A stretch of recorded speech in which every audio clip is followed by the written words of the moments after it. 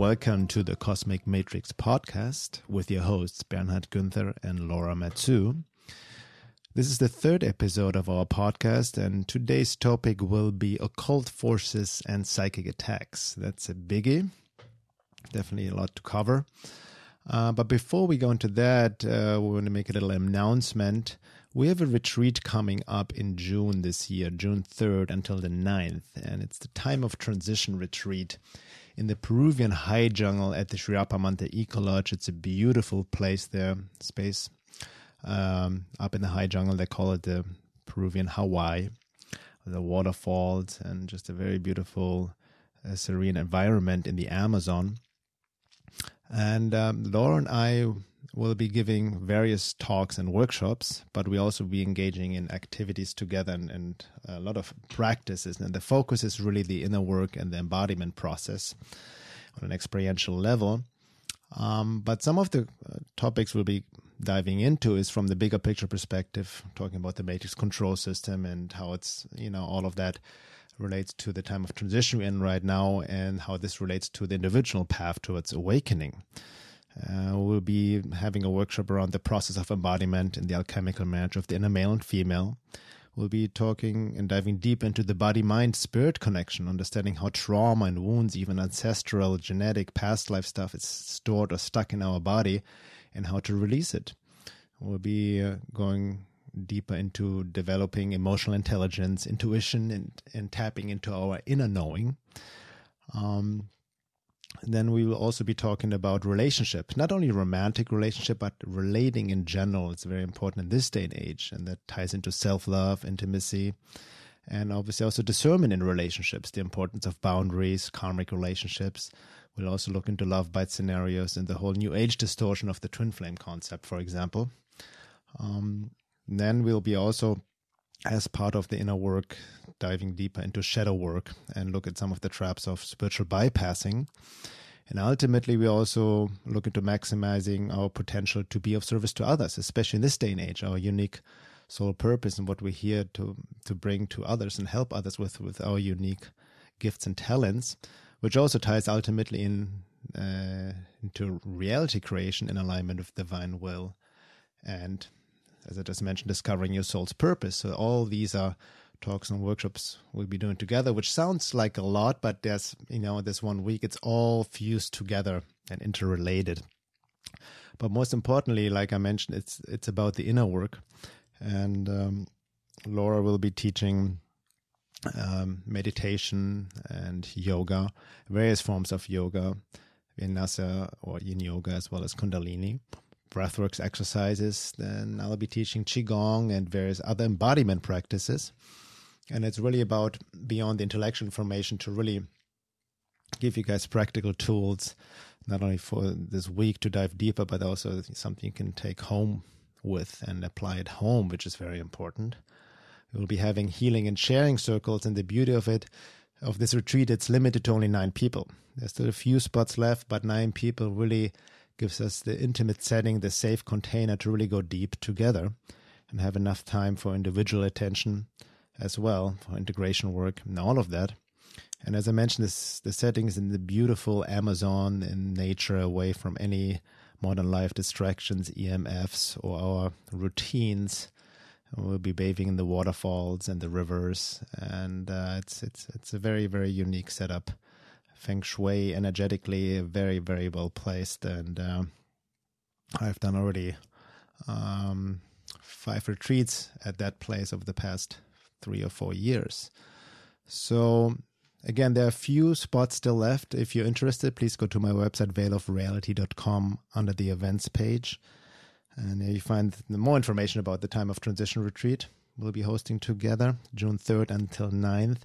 If you're interested, send me an email via the contact form with your intentions and we can talk more about it. If you have any questions, feel free to contact me as well. There's also an uh, invite event page on Facebook uh, um, on our individual pages.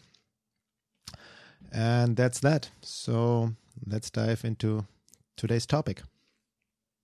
So today we're going to talk about occult forces and psychic attacks. And Bernhard has actually done an amazing eight hour webinar where he goes really in depth about this topic and gives you all the fundamentals you need to know, also exercises that you can use to protect yourself. So if there's anything that you that you hear in this podcast and you really want to know more information, you can go to his website and he definitely has a lot of articles on there for free already. And if you really want to go deeper and you are experiencing some, and you definitely kind of relate to these experiences and you want to try and uh, maybe even resolve some of them in your life through your own work, definitely check out the webinar. So if you go to his website at Veil of Reality, you can learn more about that. Yeah, and the name of that webinar it's seven hours forty five minutes. It's very long, hundred forty slides. I've put a lot of work into it. Is it's called Occult Forces of Hyperdimensions, Entity Attachments and Interferences, Discernment, Clearing, and Protection. But with that being said, today's the topic is exactly that topic: occult forces and psychic attacks. And we want to talk about this topic a bit in general, and also share more of our own personal experiences. Some of the stuff I haven't really mentioned at all yet in in um, in my writings or in in in interviews or webinars, and you know just go through it in and kind of explore this topic together right now. Okay, so let's get right into this topic. So I imagine that there's going to be more than a few people who are familiar with this topic already.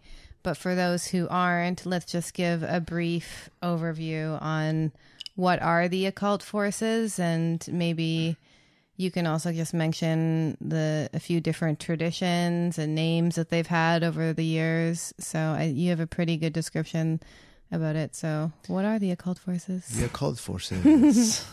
well, occult forces or hyperdimensional entities.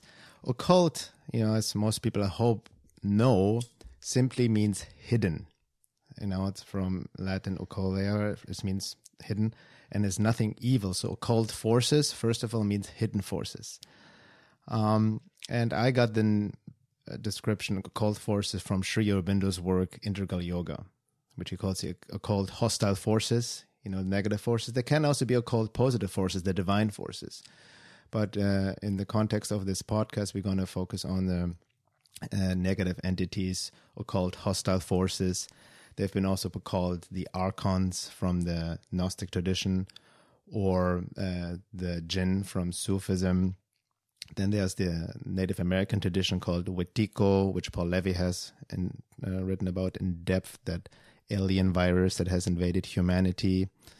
And uh, there's the Predator from Carlo Castaneda's work. So every tradition has their own description of these beings or entities. And hyperdimensional occult basically just means that they exist in a non physical realm outside our 3D reality, outside of time and space, so to speak. Excuse me.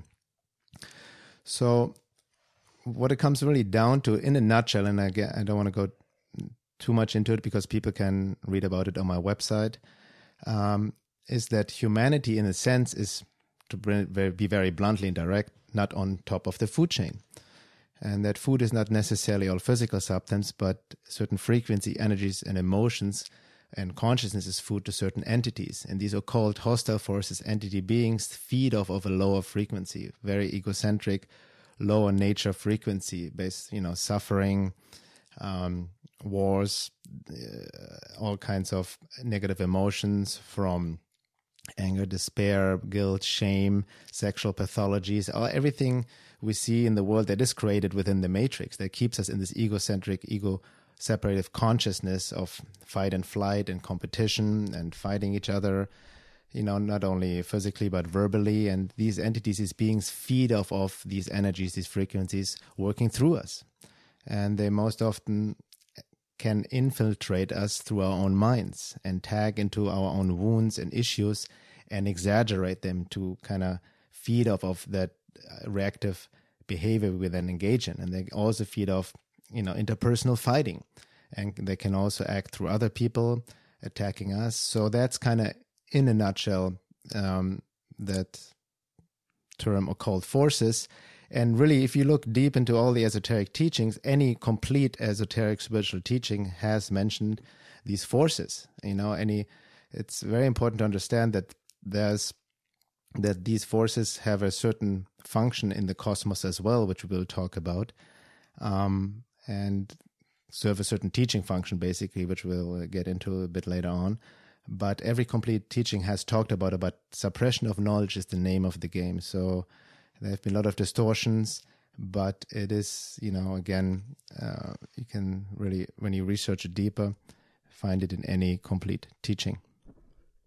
And so let's just get a few names. I know the Jinn is one of the names, and then in Gnosticism, what are they called? Uh, archons. Yeah, that's what I mentioned Yeah. before. Yeah. Okay, perfect. And then in the Native American, Wetiko. Wetiko, the Yeah. Wetiko virus. Yeah. Yeah. So, you know, just also to start it off, I want to just um, mention or quote uh, Sri Aurobindo from his work Integral Yoga. And this is from a little book which I can highly recommend The Hidden Forces of Life by Sri Aurobindo. It's a collection of quotes. And it goes Men are being constantly invaded by the hostiles, and there are great numbers of men who are entirely under their influence. Of course, in the outside world where there is no consciousness, such as developed in yoga, by which they can either become aware or consciously repel the attacks, the struggle in them between the psychic, which is the soul, and the hostile force goes on mostly behind the veil so far as it is on the surface is not understood by the mind. The apparent freedom and self assertion of our personal being to which we are so profoundly attached conceal a most pitiable subjection to a thousand suggestions, impulsions, impulsions, and forces. Our ego, boasting of freedom, is at every moment the slave, toy, and puppet of countless beings, powers, forces, influences in universal nature. All life is the play of universal forces. The individual gives a personal form to these universal forces but he can choose whether he shall respond or not to the action of a particular force. Only most people do not really choose. They indulge the play of the forces. Your illnesses, depression, etc., are the repeated play of such forces. It is only when one can make oneself free of them that one can be a true person and have a true life. But one can be free only by living in the divine. Yeah, that was amazing. That was actually one of the quotes I remember uh, because I was researching this and myself, and that's actually how I found your website. And I remember it was just like looking at all the literature out there about entities, and honestly, a lot of the information out there is just not trustworthy, and it's just poorly written, and like it's just somebody's own kind of way of wording it. And when I found his work too, and he's like a very I mean, at least in India, he's a very recognized yogi. Like, he's not just like some random guy at all. So that was really what solidified it for me because I had encountered these in my life, like through my own meditations, going deeper. It wasn't definitely wasn't all love and light, as they say. And so I really wanted more information about it. Like, I, I, I mean, my first encounter, well, not even my first encounter, but my most like really when I came to terms was like, oh my god, this is serious. When I had a succubus haunting my dreams, and it was it was terrifying. Like it, I would fall asleep, and it was this dream where it was like this really like sick like woman, and she was basically trying to seduce me and then feed off of my life force energy, and it was just and and she was so seductive too, and and and I, I just woke up terrified. And i had this dream like multiple nights in a row over the course of like a week. Um so that's when i found your website.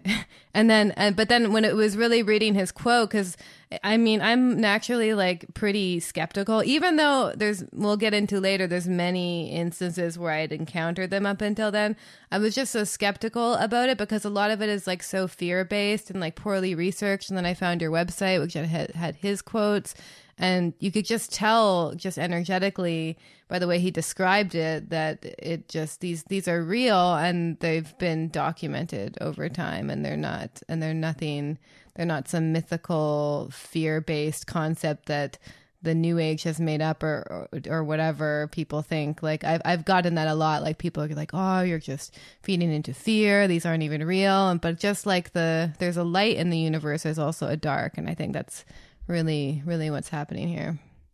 Exactly. I mean, Sri Aurobindo's work is very, very profound, integral yoga. And um, his research, uh, or research, or experiences rather, and what he's written about has confirmed a lot of my own experiences and what I've come across. But what I love about his work, he has really put it into context of, excuse me, of uh, the high evolution of consciousness, right? And that these forces have their place in the universe, so to speak. And yes, the topic has also become, as you mentioned, uh, more popular in this day and age, right? So a lot of people talk about entities and entity attachments, attacks, and all of that. And it's good that it's coming to more awareness, but there's still a lot of, I feel, misconceptions. Yeah, there's even fear mongering, fear mongering, sometimes the victim trap, blaming entities, which we also will talk about a bit um, and not understanding the deeper function of these forces and how they actually truly operate. Um, because it's really important to understand that these forces can only influence us and attack us and manipulate us in ways that is always that it needs to respond to something within and that's uh, what responds to us is our own unconscious our own unconscious behaviors our wounds our traumas our blind spots and all of which we all have to varying degrees right and but as it's Sri Aurobindo said the only way to be free of these forces is to live in the divine, and that is coming to a higher level of being, a higher level of embodiment, a higher level of soul integration. So the more you do your inner work, so to speak, the less you will be subjected to these forces. Yeah, exactly. And you can also just how your own personal shadow, like I know that some of my darkest uh, and most honestly just traumatic experiences were huge teaching functions that opened me up to surrender and prayer and a higher force in the universe when I was willing to accept that help. So just just as our own personal traumas often I find can lead people to a deeper spiritual awakening. Like a lot of people have spiritual awakening after addiction or car accidents or some really traumatic breakup so too can these uh, more occult forces like hidden forces in the universe show us where our wounds are like and so for example if you're having a certain psychic attack which we can maybe just briefly go into um, so, so for me a psychic attack is it manifests in everyone differently but i get a high state of anxiety out of nowhere. And and also like you know with those psychic attacks can be these uh, thoughts that can come in like insecurities and stuff. And that the, and these thoughts only bother me and really trigger me and get me into a lower state of fear and and and uh, whatever else comes up like anger sadness. If they're only something that I've been avoiding but suppressing. And they'll be exaggerated too. These won't be like, you know, things that I'm constantly brooding on, which is a whole other story. But it'll just show me, it'll, it'll almost take a magnifying glass to where my own wounds are still. And then I can also kind of with my own self work kind of see where the entry point is. Obviously that's not the only way of of eliminating them, but that's just one way to work with them to get them to highlight kind of the work we are avoiding. Because it's really easy to, i think to do your own self work and you you kind of know what your major traumas are and you work on those. But then there's also these really hidden things which are more insidious you, you may which may you may be able to just function well with you know? Like i think we all kind of can function well with some of our different patterns which may not be serving us. And they really highlight the things that we're almost mi- missing or refusing to to deal with Exactly. That's exactly the the main point here, which also Sri Aurobindo and, and other teachings talk about that these forces, these quote unquote negative forces, demonic, demonic forces, whatever the, you may want to call them, um, act as a teaching function, right? They highlight the issues within us. And that's also what's very important to understand, as Sri Aurobindo uh, mentioned this quote, that literally everyone is influenced by these forces, by these entities to varying degrees, to keep people in the matrix, in the matrix frequency, to keep people from awakening, right? Yeah, and even more so now, like with this high state of anxiety, and especially if you live in America, all the shadows are coming up. It's, it's. I feel like it's heightened lately. It's a feeding ground. Yeah.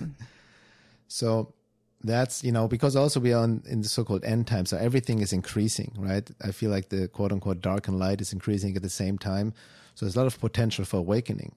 But the matrix is also an overdrive to keep people in, you know, fighting each other. In the divide and conquer is actually basically the modus operandi of this hyperdimensional matrix and their forces to pit uh, people against each other and feed off of all the loosh. You see it very, you know, you just mentioned America nowadays. Cl- most classic example for that is President Donald Trump, right? the fearless leader, um, and how people are very polarized and get into fights each other and project onto each other. And no matter, it doesn't matter who's in, in power, you know, from a hyperdimensional perspective, these are just puppets themselves influenced by these forces, all the government officials and whatnot. But they feed off of all the friction of, of the people from the left versus the right in their political identifications. And that's just, it's a distraction. It's like being distracted by the shadows on the wall, like in Plato's allegory of the cave. But there's something uh, very important to understand as well that in terms of the teaching function, if you truly start to engage on the path towards awakening, which means to wanting really finding out who are you, to know thyself, your true nature, which obviously implies also on a basic level working through your shit, all the wounds and traumas. So as Laura said, uh, basic psychology is absolutely necessary, right, to work on on on the basic healthy psyche, but it can also keep you in a you know, in the television, I've experienced in my own life and the way I came across this topic because I've been always dealing with my own trauma and wounds and depression, despair, and guilt and shame programming and all of that, working the best I can, doing shadow work, even I've worked with psychotherapists. But something didn't add up. I was just kind of like going in circles by just focusing on psychological work until I, you know, did more research or through synchronicities, I came across this topic and understood that there's something else acting as well, which heightens these issues. And also, it's very important to have establish a connection to the true light, the true light, the divine, or God, whatever you may want to call it, right? To live in the divine, as Sri Aurobindo said in order to transcend these influences, to rage on a, on, on a higher frequency. But this higher frequency is not to be mistaken in the new age of just thinking positive thoughts and smiling and forcing yourself, but it entails deep shadow work to work through us, through these uh, traumas, through these wounds, through these emotions, in order to uh, raise to a higher level, and then you also vibrate on a different frequency automatically and reject these influences. So, yeah, exactly. It leads us to a deeper self understanding of ourselves. And through doing that, um, we raise through a higher frequency. It's not about just forcing yourself to be a certain person and to act like how you think a spiritual person is, but uncovering.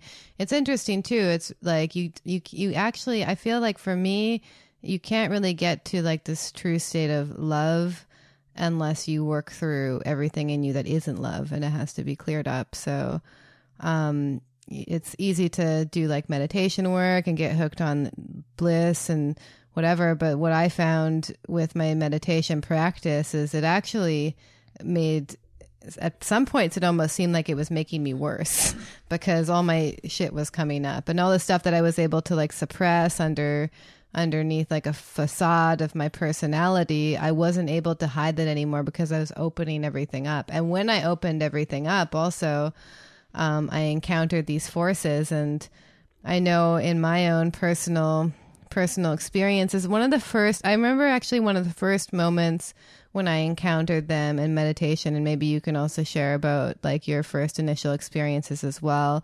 Is I was I was just doing a normal meditation. I remember exactly where I was in my room, and suddenly I felt like this like dark, shadowy. My eyes were closed, but I felt this dark, shadowy energy around me and almost encompassing me, and it really scared me because um and it and, and you know it, and it wasn't like i was like dropping into emptiness. That was a totally different feeling.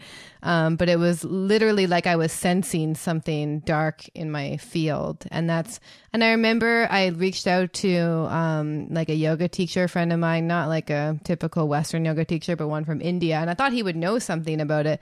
And he actually wasn't that knowledgeable about it. So then i had to go seeking on my own to try and find out more information about it. And that eventually led me to Peru. And I really cuz I understood cuz that's when I began to understand that everyone has this kind of spiritual energy field around us not only around us but in the environment everywhere.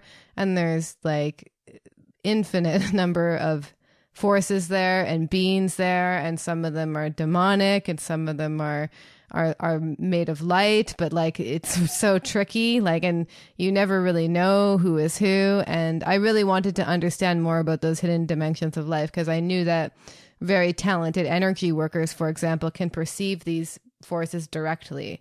And that's not the point of it, but it's just I knew that there there are people out there who could actually perceive them directly. So through my own personal experiences, I I yeah, I did deeper research and I was like, wow, this is actually real what I'm encountering. Not only they are they real, but they're affecting people all the time. Yeah, you just mentioned something which is very important to address about perceiving these forces directly. And because a lot of people always then, when they first come across the topic, there are two reactions. Either they deny it right away and dismiss it because how could you prove it? There's no facts for it, no scientific, you know, evidence uh, for these forces, or you know, they go into paranoid state and like, oh my god, all these hidden forces occult forces, they're influencing me and manipulating my thoughts and emotions. So you get into paranoia, which is exactly what these forces want you to do to begin with. Uh, but it's very important to understand anybody who's looking for any scientific proof is not going to find it in our standard of science in terms of five sensory perception because it outside our they exist outside our five sensory perception outside time and space. But the way you can perceive it and they're very sensible individuals and sometimes i know a few clairvoyant who can literally perceive them visually directly and see them but that's not necessary not even necessary.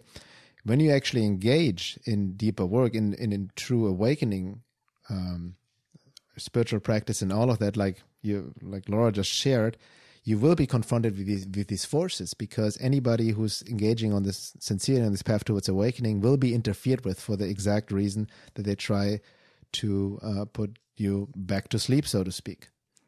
Yeah, exactly. And that just reminds me of actually, I think I had this experience shortly after when I first moved away from the city to the island.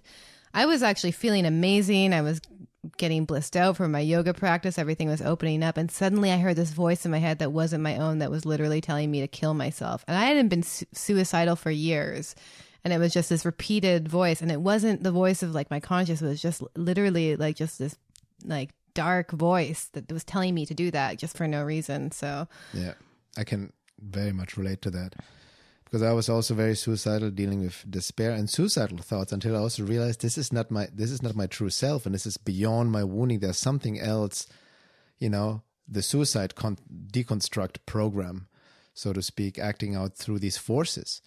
And going back to what I just mentioned, perceiving these forces directly when you're more engaged in inner work, you know, and clear your stuff and raise your level of being, you can, what you eventually are doing, what Sri Aurobindo talked about, is develop yogic consciousness. And yogic consciousness simply means that you also develop six sensory uh, higher level perception beyond the five senses. You can sense them without even necessarily uh, seeing them visually, but you have a, another sense. There's something intruding, something coming from the outside in.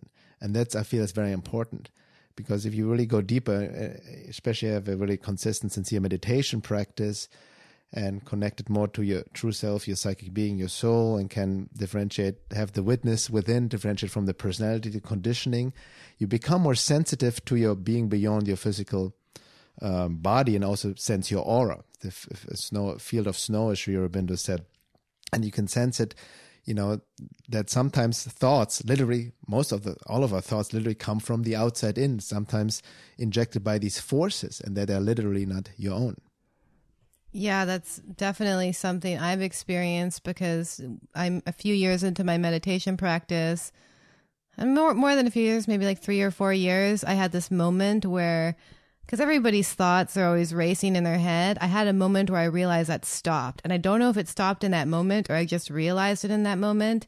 And then since I had this eh, more openness in my mind, because my mind wasn't constantly cluttered with these useless thoughts, I, the, the the thoughts that I was perceiving became more psychic impressions because it's not like it was just my own ego. Not to say I don't think about things, but it, it was less that monkey mind racing around. And I feel that's also a really important thing is like, you it, it's so hard to perceive these forces directly if your mind is constantly moving like because who knows? Like you have like a like i don't even know how many thoughts people have in like five minutes but i know it's a lot because i know for me it was a lot. So how could you differentiate between what's your own anxiety and thoughts between these forces? I feel like you have to clear the space and then when you feel it it'll come. Like for instance lately like I, I like I know this sounds weird to people, but I'll have moments where I'm just not thinking. Like I don't have a I don't have a conversation going on in my head at the same time that I'm doing something. I'm just being present with what I'm doing. And I'll have a thought of like somebody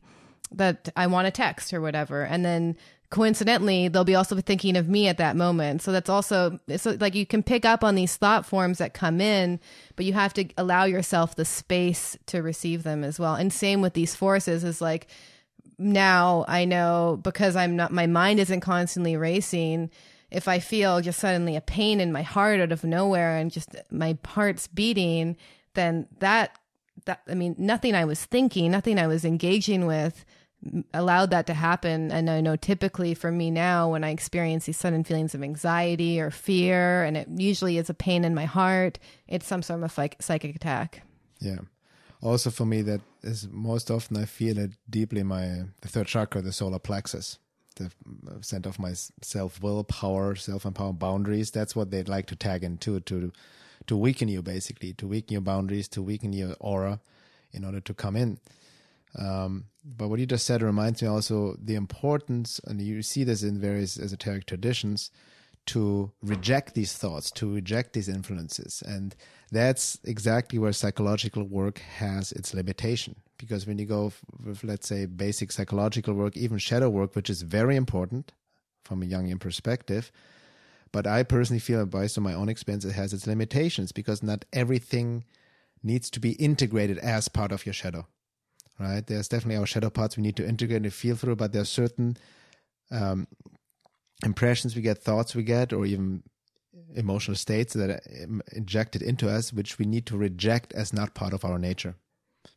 Yeah, exactly. Like if I were to take that that that thought form as like you should kill yourself and be like, "Oh my god, should I do this or am I still suicidal?" Like it, and it was so out there for me at that point because I consciously made the choice to live like 5 years ago. I didn't hate my like I wasn't in self-hatred. It was so out there from how my normal personality was that I was like it was very natural for me to reject it, but that was a, a, a good example yeah. too. That's a more yeah, but it can also it's important to point out that these influences can happen most often happen in more subtle ways mm-hmm. you know especially in our society or the world the matrix quote unquote where literally pathology has become normalized right and we all know about um, many people know about the quote by krishnamurti which i um, quote a lot uh, in which he says it's no measure of health to be well adjusted to a profoundly sick society. And that's what people try to do. And we don't question our thoughts. We don't question our desires. We don't, sometimes don't even question our sexual drives and all which is also a topic in itself.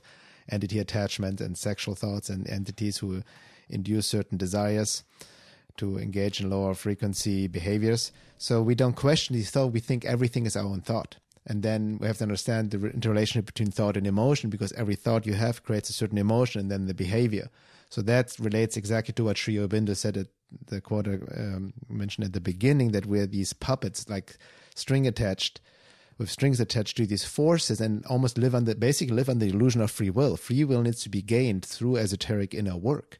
So we're not chained to our own mechanical ways, unconscious ways from past wounding and trauma and all of that, and social conditioning, but also not be subjected to these influences and manipulations of these forces.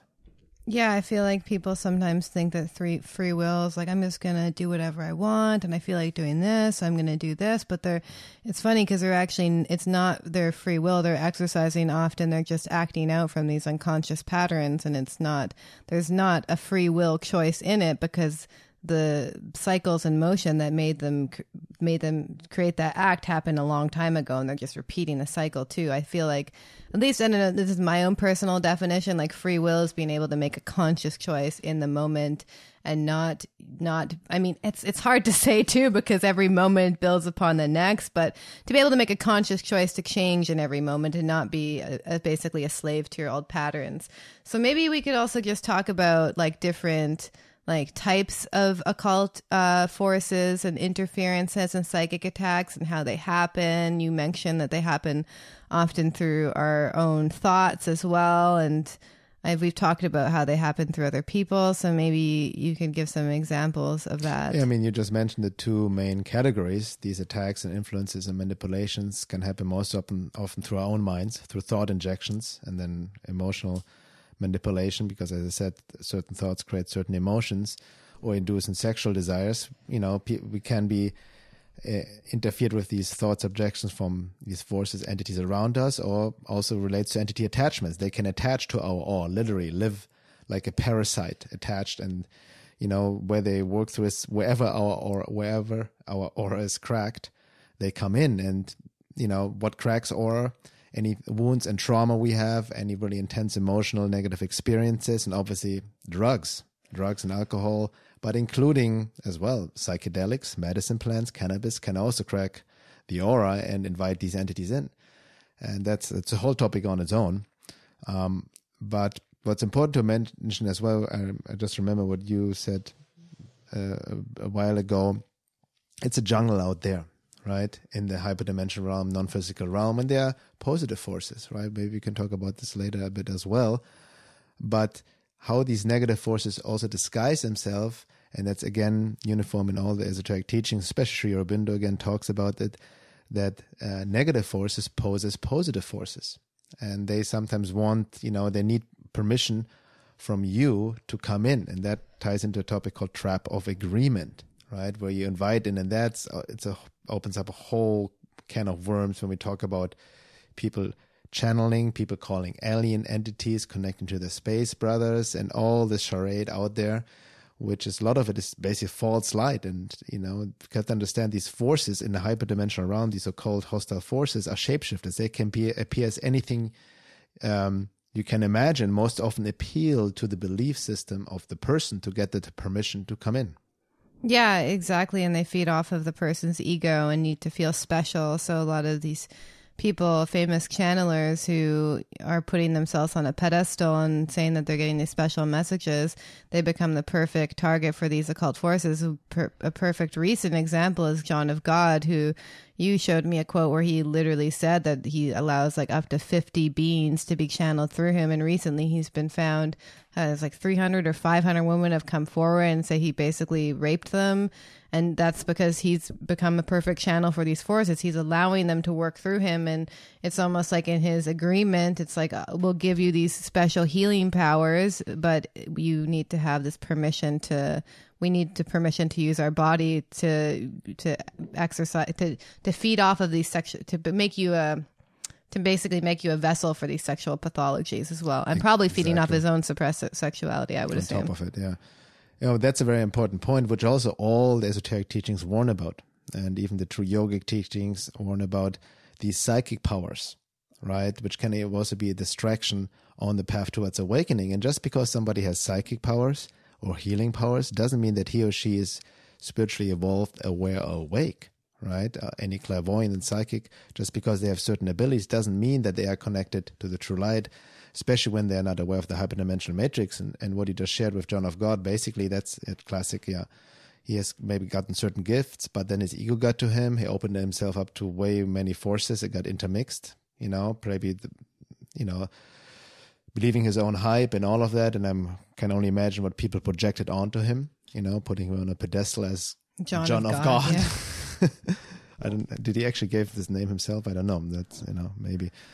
Um, but that's how it works, right? You, yeah. You kind of it's it's a pact with the devil, and it steers you off the path. I can imagine like people like John of God or many others. They can even start off um, uh, with these gifts, but then get sent off the track, so to speak. And I feel that what you mentioned happens to a lot of channelers as well. You know, some of channel material is a topic on its own, but most of it is very, it's truth mixed with lies. none of it is really 100% true. And when you see some of popular channel material, for example, I mean, um, people who know my work know that I'm very fond of Barbara Marciniak's work, especially her first book, actually only her first book, Bringers of the Dawn, which, you know, that where I was at in my life 20 years ago so has really helped me in my awakening process. It triggered something deep within, and she talks in the channel material also a lot of these darker forces, reptilian forces, the hyperdimensional matrix in its own way. And it had its place. Some some of it is a bit new agey, uh, coming through our own filter, but I've also noticed over the years she got hijacked by these forces. And I was actually at a channeling workshop in 2000 uh, five in Sedona, which she organized a two or three day channeling workshop.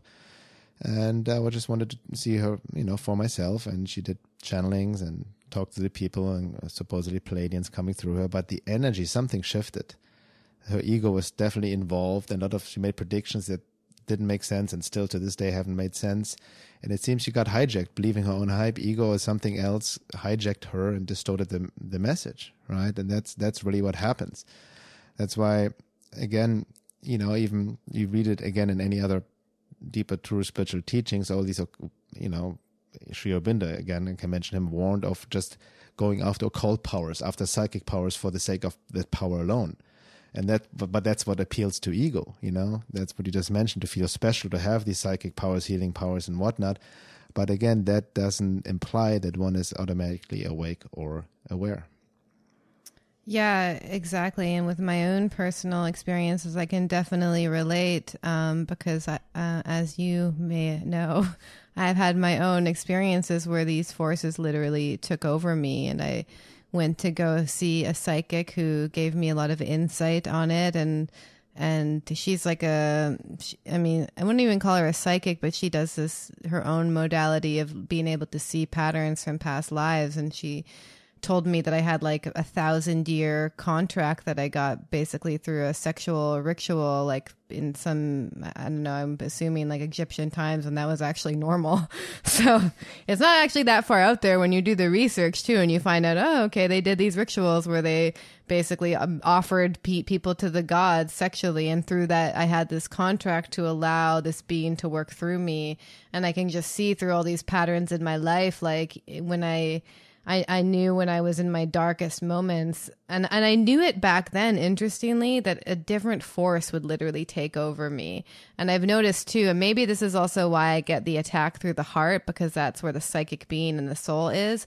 Because there's a point, it's like where the pain would get so much, I could, li- it was a form of disassociation. I could literally feel my soul exit the body. And when that happened, it's like I took on so many basically sociopathic traits because my soul was just exited and this other force took over. And that's usually when my the most destruction i'd caused in my life was when this other energy entered me. And i and i knew it too. I remember telling people this is even before i understood anything about occult forces um, th- that was even before I understood anything about occult forces, but I would say like a demon would enter me and I had this like split personality as a demon. I was referencing it without even really having knowledge of it. Like I, I think I knew deep in my soul and it was really, it was really becoming aware and almost familiar with that energy and l- learning how to learning how to reject it and work with it. Like even recently in the past few months, I've had to just, when I could feel that energy taking over me, I just had to just separate myself from any situation where I could do harm. Yeah. Now, what you mentioned is very important to understand as well that these forces exist outside time and space. So it's very hard for our linear mind to understand that, or our mind caught in linear time, because you can have these trap of agreements, these contracts or entities as Laura just mentioned, over lifetimes. They can be with you, and from the spirit actually or the divine needs to respect it because you invited it on some level, be it consciously or unconsciously, being manipulated into it or made a conscious contract by calling in, by engaging in rituals. You know, as long as that contract is there and not dissolved, cancelled, um, you are being used on some level by this by this entity. But it's also important to understand that you know that level of, of, of agreement you made is also feel it's not that common. But most often, people are also being targeted who have uh, who have a certain soul quality, a certain light, and a certain mission to fulfill in in their incarnations, right? In, in, terms of being of service during this time of transitions, many of us have come here back with a mission profile, so to speak, to assist others, right? And th- those are the prime targets, right? So they can see your trajectory even in multi, like many lifetimes ago, and they can try and halt that like kind of almost like pull it up by the root. Exactly. To to and and create traumas that then last over lifetimes to keep that entry point alive, so to speak. And that reminds me actually of a of a quote I want to just share again. Uh, ties into this section here by Paul Levy, who wrote an uh, amazing book, "This uh, Dispelling Wetiko, the course, cur, cur, excuse me, the curse, curse of evil." Um, about Wetiko we mentioned before, that's also the Native American tradition of, of this alien virus. And he says, in addition to the weak and defenseless, these hidden vampires seek out people who are on the verge of a quantum evolutionary leap in consciousness, but have not yet fully integrated their realizations and come out the other side. These individuals are in an energetically sensitive and charged condition, and their openness and vulnerability invites the vampiric entities to help themselves engorge on the light of their prey's expanding awareness. Paradoxically, though, thriving on the absence of light, vampires can be said to be light eaters. That's important to remind they're light eaters. They eat on, of, of consciousness. As they draw and consume the light belonging to others into their cavernous black hole of the congenital em- emptiness. Economically speaking, vampires want to corner the market on energy, on light, so as to centralize their power and control. If we do manage to connect with the light within ourselves, the divine within, and try to share it with others, these non local, hyperdimensional vampiric entities, not bound by the three dimensional law of space and time, will try via their quote connections to the non local field to stop us by influencing other people to turn against us. And that's a great segue into the other category of how these hyperdimensional occult force attacks happen, besides through our own minds directly, but as Paul Levy has mentioned, it can also happen through other people attacking us. And that's the classic Agent Smith syndrome, as I'm sure I hope most listeners are aware of, of the film The Matrix. Yeah, Agent Smith syndrome is it's like a common example is when you're on the path towards awakening and you're sharing knowledge with others and and truth um, and your family is a really good portal but people just turn against you and personally attack you for it. It's not even that they'll disagree with you but they'll literally personally attack you for it and try and bring you down. And it's interesting too because if you're not necessarily dealing with these forces acting through you then you'll get them through other people randomly. Like we've even just recently had an experience where everything was fine with us, and then we just experience these things through other people because they can't actually get through us as much anymore. But if they can't get through you, then they're going to get through other people. If they can't make like the, the exactly you self destruct, then they'll try and get other, other people, people, to get through your wounds. People close to to you it can be anyone, can be close friends, can be people, can also through psychic attacks on um, on. Um, you know, social media, the internet, that's a whole topic on its own again, the AI interferences through through that medium, but uh, can be anyone in, in close proximity to you and can be even your husband and wife, anybody who is actually not that aware and is not engaged in that kind of work, right? Also in relationships, that's why relationships, you know, for anyone who's truly sincerely engaged in seeking truth, self work, uh, spiritual practices on the path towards awakening, takes on a whole new level, right? And these influences is not only like vicious attacks, personal attacks, as you just mentioned, as you just mentioned, but can happen more subtly, just distracting us from what's happening or just draining us, so to speak. Yeah. And as you said as well, it doesn't even they're not even consciously aware of it. It happens very on unconscious level. So it's very important to understand that you cannot even take it personal because they are being used as a vessel for these forces. Yeah, like a good example is just even I think a lot of people are familiar with this these days, and there's a lot of, and there's also a lot of uh, people projecting this idea on other people, but just the basic concept of energy vampires too. That's like a very subtle way. Like you can have someone in your life, like you're trying to really focus on something. Maybe you're trying to follow your life purpose, and then you have someone around you who's just constantly draining you and just calling you up and just distracting you. Like that's a more subtle maybe not so subtle, depending on how aware you are, a way of it can work. It's like just trying to derail you from what you're really meant to focus on. I'm not saying that we shouldn't have empathy for people who are suffering, but there are people who are basically like, they're these kind of black holes and it's like no matter how much energy you give them they'll just keep sucking it like there's n- literally no amount of help you could give them that could help them and that's just another example and maybe we could also just get into like some common ways because you mentioned like social media because I feel that a lot mm. too. And I've realized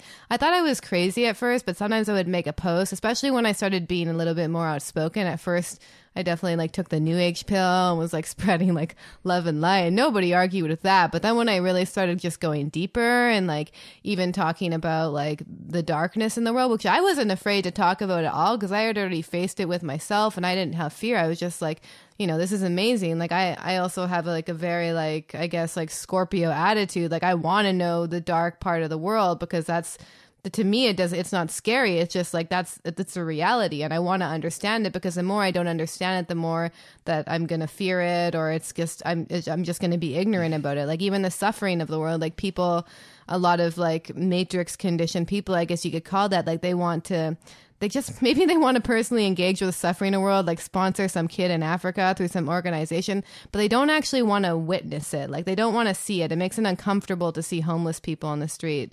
So for me though, I'm like I'm fully interested. I've had definitely enough dark experiences in my life that I'm I'm not scared of looking at it. So anyway, I just started sharing more of these experiences on social media and not only could I did I get uh, direct like you know comment attacks from people as well who were lashing out at me, and usually they would just attack me personally, not even just present their their own opinion about it. They would automatically get triggered and then say something uh, like rude about me or just mean about me, which is also proof that, like, you know, like I'm open for constructive feedback about my ideas, but they would just personally attack me. So I could tell that they were getting triggered, but then also just psychically, like when I posted something, I could feel the energy behind it. And it was like, it it wasn't just my own anxiety and fear because I mean I'm used to posting stuff all the time, but I could just also feel psychic energy from people that were and what they what they were perceiving from it, and I had to also be strong in that and be like, okay, you know what, like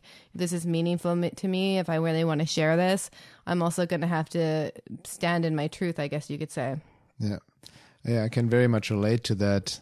Similar experiences on social media, Facebook, with all the attacks, projections, and um, also very similar for me. I was when I researched these topics, I went very deep into the dark side, so to speak, to go, you know, also even on the 3D matrix, you know, really got diving deep into researching pedophilia, lead rings, MK Ultra, and I mean, there's so much evil and darkness pe- happening out in the world. People have zero idea about. Um, but also from the hyperdimensional matrix or the alien agenda, alien abductions scenario, and all of that, that goes goes really deep. Yeah, um, the alien topic is definitely a way to get uh, these projections yeah, and psychic attacks. Exactly. Especially if you say anything bad about aliens. Exactly. And then, you know, but I received the same. For me, fear never came in the into the equation, right? I was never afraid of these topics, but I received these projections similar to you I mean, I've lost count how many people call me I live must live in fear and darkness to talk when I talk about these topics, which my whole point is just making the darkness conscious to bring it to awareness, because that's what everything awakening implies to become aware of it all and not just one sidedness, right? In order to transmute it, to heal it, to understand, to gain knowledge, to navigate this matrix in terms of awakening. But, uh, you know, I would be blamed for fear mongering, living in fear, and all of that, which ironically is their projection of their own unconscious fear, right? And their fear of their own disillusionment, so to speak. But you know what I've so there's these direct attacks which I've experienced as well, and cognitive into and you know the favorite button becomes the block button. And that's normal, but it also shows you that you're on the right track if you receive that kind of attention almost. That's kind of, it's almost paradoxical, right? But you must be doing something right because, again, these attacks actually intensify when you get closer to the truth, when you're uh, close to a, a quantum leap, as Paul Levy said, a breakthrough right? Then these becomes, in the end, initiations and tests, so to speak, to stand in your truth, right? To push through it, so to speak. And but what I've also mentioned, noticed a lot, and think we're also obviously very similar in that regard in terms of our own psychic sensing and sensitivity. These psychic attacks, you know, not even verbally or in written word, but the energy from other people.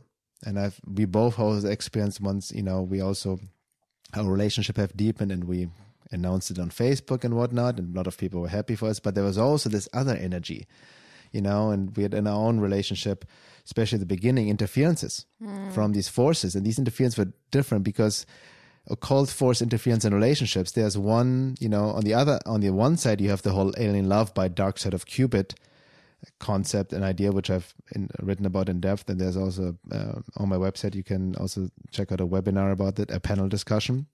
And in a nutshell, a love bite, dark side of Cupid scenario based on Eve Lorgen's work is basically a counterfeit fake twin flame relationship with all emotional loosh, but it's just artificially created by these beings who also artificially um, create all these romantic bliss and sexual um, bliss and all of that. And you think that's the one, but then it results in drama and one person turns off and both are being used as, as vessels to create this loosh. But there can also be occult interference in a couple of people, uh, you know, two people are supposed to be together, even do a mission together to keep them apart, to kind of interfere with the relationship, to make it, to make it break up. And we have experienced that uh, definitely. Uh, and it was very obvious in the beginning too, by the way, you know, and I think what helped that our knowledge and understanding of this topic, how these forces work, because the Achilles heel is lack of creativity. It becomes very obvious if you understand the modus operandi. Yeah, like a good example before I think we even, or maybe it was shortly after, but it was very early stages of our relationship. The first visit I, I had here, when I remembered I was at this event with you. And that day I got, I don't even know, it was like close to 10 messages from random guys. Some people I knew, some people I didn't, just desperately trying to communicate with me. And I think even one of them was on Instagram being like, Yeah, when you come back to the island, I'd really like to hang out with you.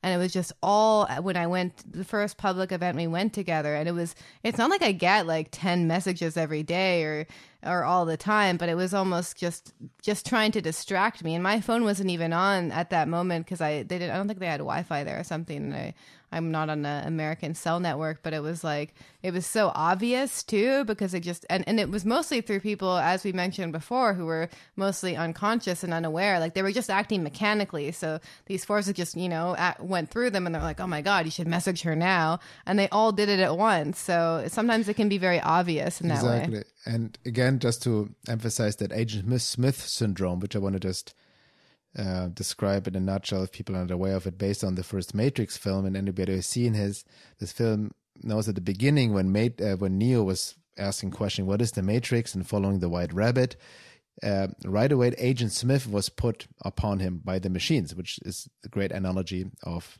the hyperdimensional matrix. And if you notice, Agent Smith was able to insert himself into under, other humans or other programs, and then go after, uh, after go after Neo.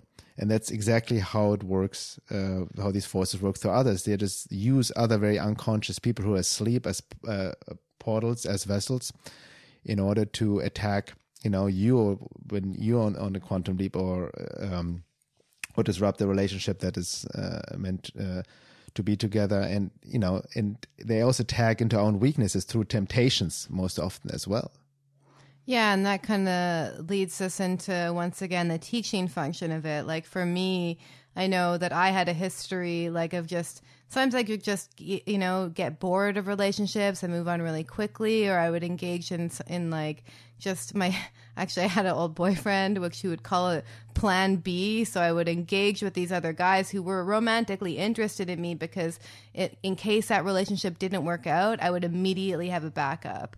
And I think that's actually quite common with women too especially women who are who get more pursued by people. But it was it was really it was a teaching function for me to see my own weaknesses and the teaching function for me and that was to really understand the importance of commitment. And i mean like full commitment and and not lying to yourself too and like you know just saying that you commit but being like i'm really going to commit to this person and i'm going to do it to the fullest extent that i can and i'm going to honor them and honor our relationship as much as i can.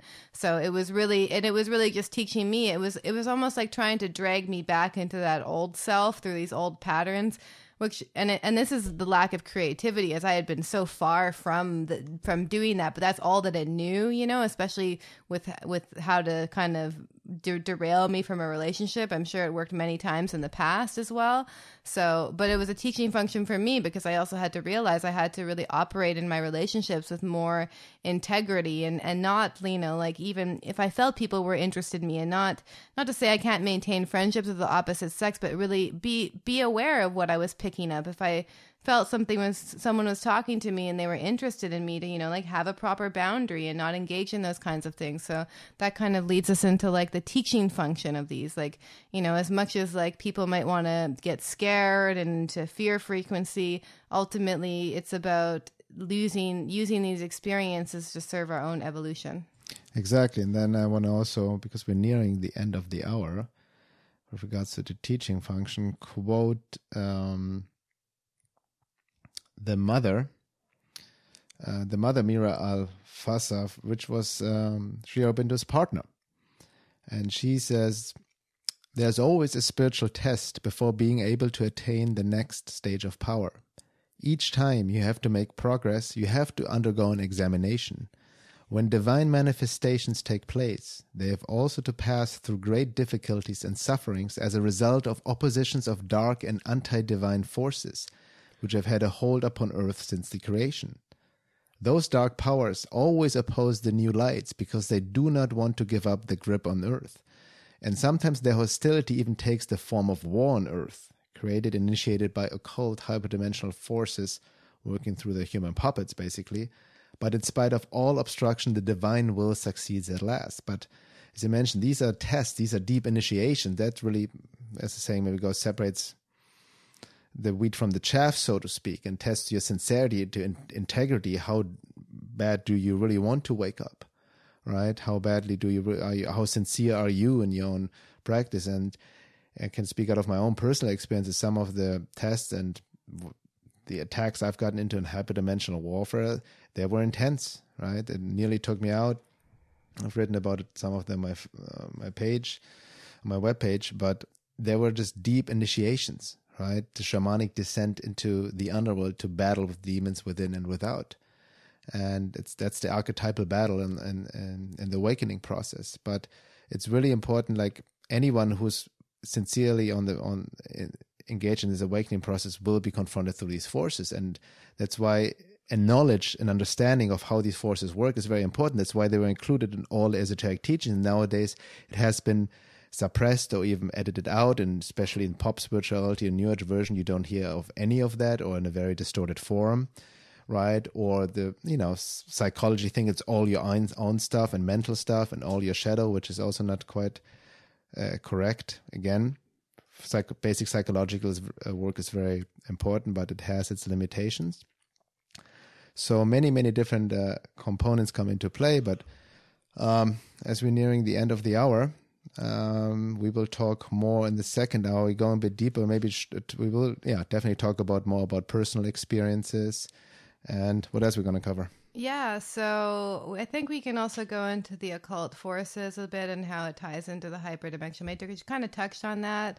It'd also be good to go, I think, into more detail about the love bite and interferences in relationship. I think that's a big topic on its own.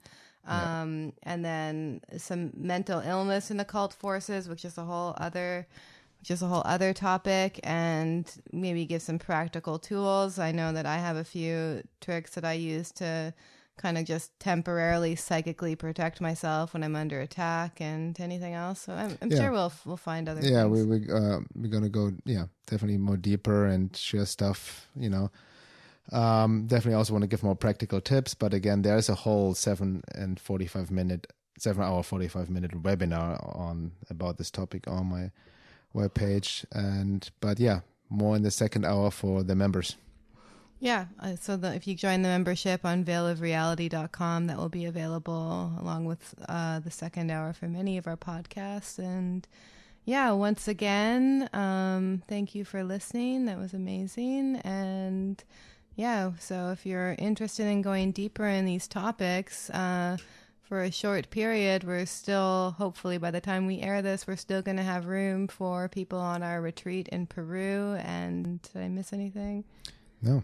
That's it. Perfect. All right. All right. Thank you, Thank you guys. Until next time.